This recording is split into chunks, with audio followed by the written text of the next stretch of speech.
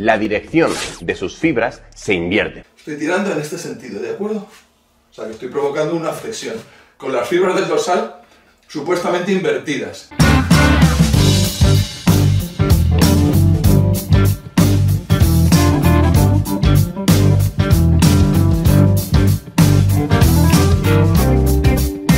Hola, ¿qué tal? A ver, como no me cuesta nada, lo explico otra vez.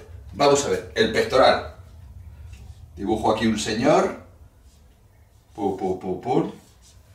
Y podemos hacer con este brazo, llevarlo hacia adelante en lo que se llama flexión.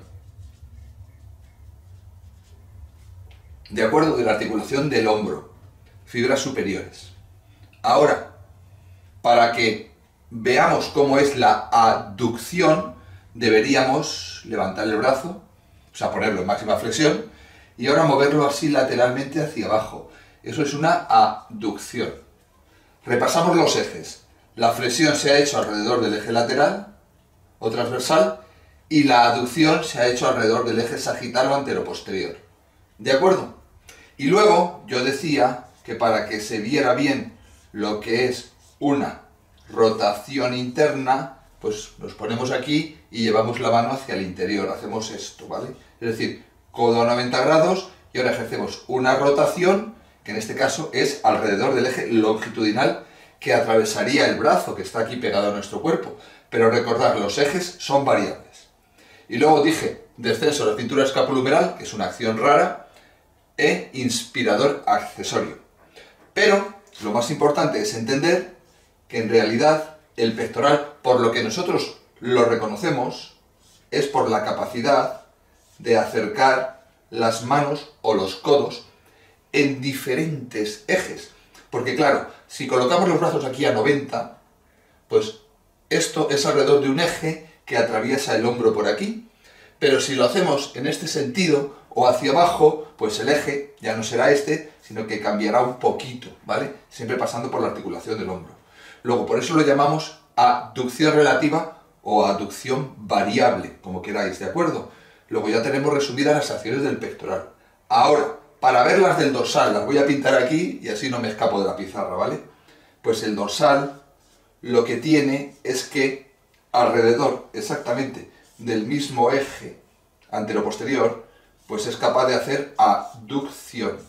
Y eso coincide.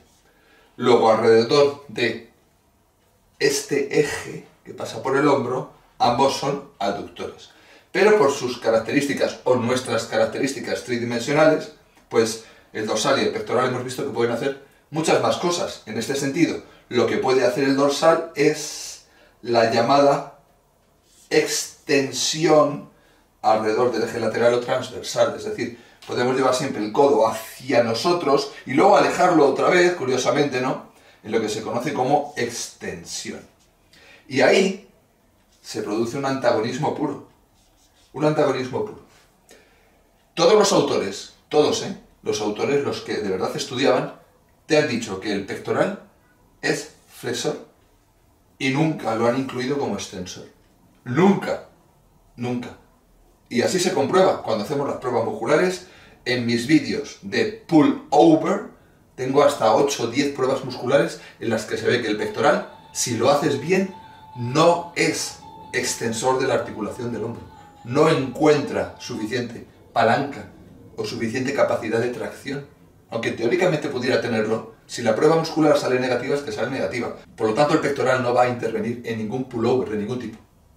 Los pullovers son todos iguales, lo que pasa es que unos se realizan tumbados, otros boca arriba, otros boca abajo, poleas, etc. ¿De acuerdo? Entonces, aquí tenemos la segunda acción del dorsal, en otra también es rotador interno, también es rotador interno, perdón por llenar la pizarra de tantas cosas, y luego tenemos también accesorio a la inspiración y extensor del tronco, que se nota sobre todo en los remos en voladizo. Se nota porque en un remo en voladizo yo siento más el dorsal que en un remo así en posición vertical o en un remo desde arriba.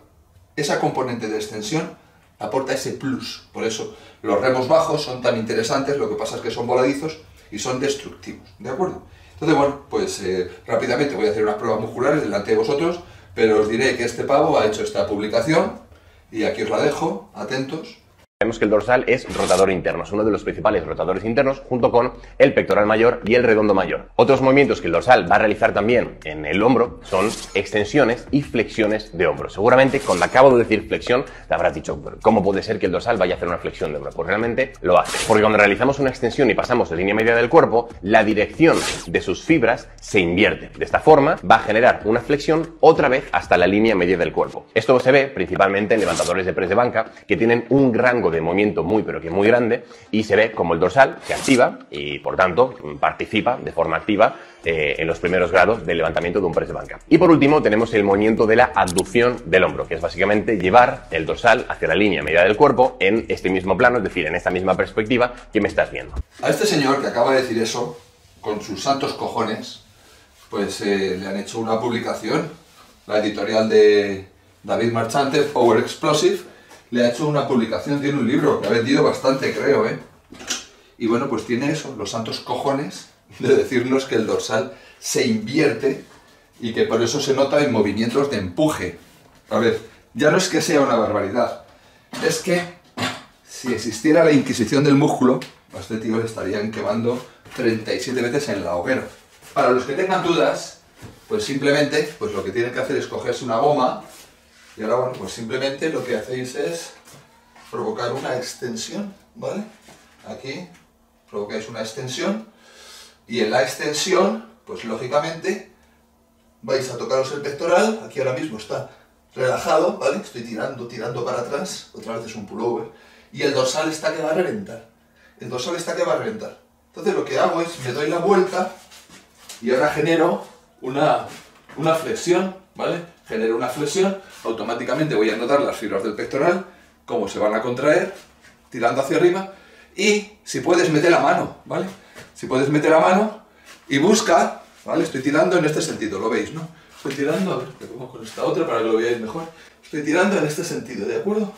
O sea, que estoy provocando una flexión con las fibras del dorsal supuestamente invertidas. Y es que es de risa, es que es ridículo.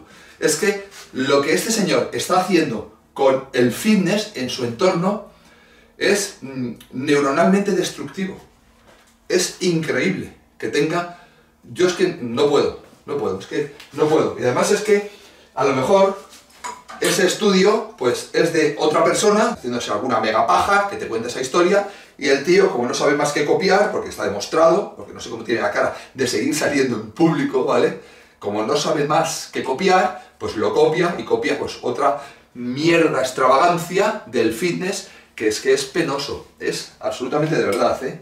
es patético yo no sé no sé cómo la gente tiene no sé cómo no os dais cuenta, los que le habéis comprado libros y tal y cual, porque ahora mismo aquí la mayoría son Iron Masters, pero seguro que entra alguno y alguno estará diciendo, no, pero es que a mí Álvaro me da mucha confianza cuando dice que esto es una mierda y que esto es lo mejor y que esto no lo hagas, ¿vale? Una persona tan absolutamente excluyente, fitnazi como él, que, que es algo que aquí no podemos soportar. Aquí excluimos los ejercicios peligrosos, hay unos cuantos. Y luego en todo lo demás, metodológicamente, podemos hacer mil cosas. Pero hay gente por ahí que además defiende que se hagan ejercicios peligrosos y que luego te están limitando, limitando constantemente lo que tienes que hacer. Pues a mí me parece muy mal. Pero algunos os habréis planteado, a pesar de todo, tiene que haber alguna explicación para la prueba electromiográfica. Y efectivamente la hay. Y la explicación en el vídeo de mañana, después de realizar las pertinentes pruebas de todo tipo, para verificar que es una gran cagada doble mañana, doble vídeo. Entonces ahora simplemente voy a terminar con los, os parece bien, con los antagonismos y los agonismos relacionados con dorsal y pectoral. Es muy sencillito, prestad atención. Yo ahora mismo, fijaros, si me pongo aquí, ¿vale? Todo el mundo entenderá que durante este gesto estoy haciendo pectoral en una aducción, aducción relativa, he conseguido cerca de los 90 grados, estoy por aquí, ¿vale? En una posición para mí muy cómoda, en la que más noto el pectoral, y estoy haciendo esos push-ups, que son clásicos, en un sitio que se hace muy bien en el multipower. Entonces, fijaros, ¿vale? Como estoy consiguiendo, pues, esa aducción, y se realiza alrededor de un eje que pasa por aquí, pero que cuando estoy por aquí pasará por aquí. Luego el eje cambia. Entonces ahora vamos a buscar el antagonismo. El antagonismo, pues me vendría aquí con el mismo agarre, fijaros, y ahora intento acercarme lo más posible a los 90 grados. Aquí lo que he hecho es una abducción. Así, justo lo contrario a lo que he hecho antes, una abducción. Son movimientos, en este caso los dos, son biarticulares. En uno de ellos, el tríceps empujaba y en el otro, el bíceps traccionaba en el codo. Luego tenemos una situación, atentos, biarticular con doble antagonismo, ¿vale? Es decir, que son antagonistas siempre que me coloque así, alrededor de los 90 grados. Y ahora vamos a ver cómo podemos plantear otro antagonismo con un ángulo diferente. Voy a pegar los codos, ¿de acuerdo? Luego ahora me voy a mover alrededor del eje transversal. Fijaros, estos serían unos push-ups con los codos pegados al cuerpo.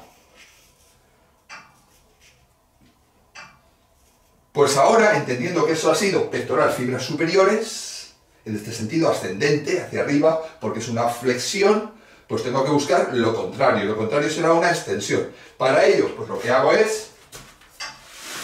Fijaros, tanto en el ejemplo anterior como en este, voy a hacer así un poquito, ¿vale? Con los codos. ¿De acuerdo? Para conseguir que la extensión sea pura alrededor del eje transversal, del eje lateral, exactamente el mismo que he utilizado durante el empuje. Lo veis claro, ¿verdad? Y ahora por último, imaginaros, ¿vale? Voy a poner dos ejemplos. En uno de ellos, pues yo estoy aquí, aquí subo un poquito, con las manos abiertas, aquí tiro todos hacia adelante y empujo, ahí, estoy empujando, ¿vale? Entonces ahora, durante el movimiento, si mantengo los codos adelante, es una aducción. Lo que pasa es que la barra me interrumpe. O sea, no puedo atravesarla. Por lo tanto, no es una aducción perfecta. Pasa ligeramente por delante. Por lo cual, el pectoral asumirá más responsabilidad que el dorsal, porque el dorsal en esta aducción, fíjate, ¿vale? Lo hago así para poder hablar, ¿vale? El dorsal en esta aducción también quiere participar. De hecho, si me doy la vuelta, lo bajo un poquito, ¿vale? Y lo hago así. Y ahora la barra la tengo pegada detrás, echo los codos adelante, pues ahí, justo ahí, yo noto como el dorsal está trabajando en aducción. Puedes notarlo, tanto por delante como por detrás de la barra, puedes notar que en ese momento final el dorsal está participando, porque es una aducción. Pero es que este ejercicio prácticamente no lo hacemos nunca. Y la gente que lo hace tiene que estar bastante fuerte. De hecho, en las máquinas de tips, que se puede abrir y cerrar, en ninguna plantean una abertura tan amplia como para que de verdad se haga una aducción. Y ahí sí que se podría hacer perfectamente, porque tienes dos manerales y te puedes colocar en medio, o sea que sería perfecto hacer esa aducción. ¿Vale? Por lo tanto, en este ejercicio en concreto, es posible que trabajen como agonistas, pero es un ejercicio muy surrealista, porque lo normal es que hagamos los dips con las manos lo más pegadas posible, y ahora, en este caso, el dorsal no puede intervenir durante la fase isotónica, ni la concéntrica, ni la excéntrica. Sin embargo, cuando estamos aquí arriba, yo ahora mismo me coloco aquí, ¿vale? Estoy aquí sujetándome en el aire, me coloco un poquito y noto lo que he notado antes, que el dorsal está ayudando a que los brazos no se me abran él lo que percibe es que en algún momento los codos se pueden separar. Por lo tanto, lo que hace es juntar los codos, ¿vale? Aunque tengamos el grip cerrado, pero está ahí ayudándonos a estabilizar. Pero en cuanto empieza el movimiento, el dorsal se desconecta. Porque fijaros, si al hacer esto, al empezar a bajar durante el dip, el dorsal se conectase, como el dorsal lo que hace es tirar de nuestras manos hacia atrás, pues sería ¡BUM! O sea, de pronto nos partiríamos en dos y durante la positiva no podríamos subir. Lo entendéis, ¿verdad? Entonces, es muy importante que tengamos muy clara la biomecánica para entender cómo el pectoral y el dorsal pueden ser, aunque sea por un instante, pueden ser agonistas, aunque sea en isometría, que pueden serlo durante una acción mecánica, en aducción, ya sea aquí donde lo he hecho en poleas, pero que cuando invertimos la situación alrededor de un eje de rotación, o uno u otro. No puedes ir hacia adelante e ir hacia atrás a la vez. No puedes inclinarte a la izquierda inclinándote hacia la derecha, etcétera, etcétera antagonismos. Eso que el señor de la publicación ha publicado con dos cojones y ha dicho que los antagonismos no existe. Y yo aquí, en este canal, con este multipower y con otros elementos, he demostrado más de 100 antagonismos. Si tú revisas bien los vídeos, tienes más de 100 antagonismos demostrados, pero además siempre, uno por uno, sin excepción.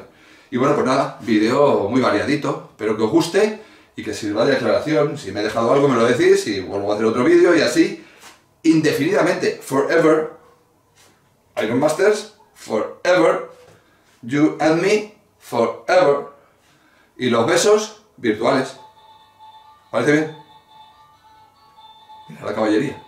Eso es mi amigo, que viene a comer. Os dejo. Hasta luego. Vamos a demostrar de lo que somos capaces Sin pensarlo únete, somos Iron Masters Iron Masters, Iron Masters